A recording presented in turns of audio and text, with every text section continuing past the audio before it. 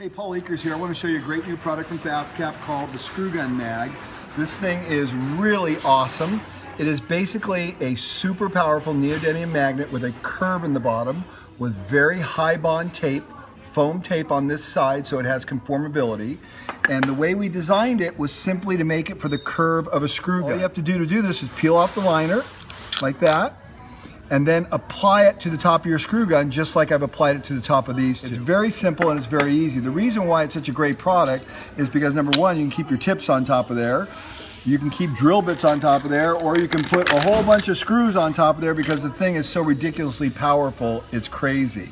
Now, we developed this internally for our own uses because a lot of times we like to keep our screw guns magnetized, like right here, I'll show you.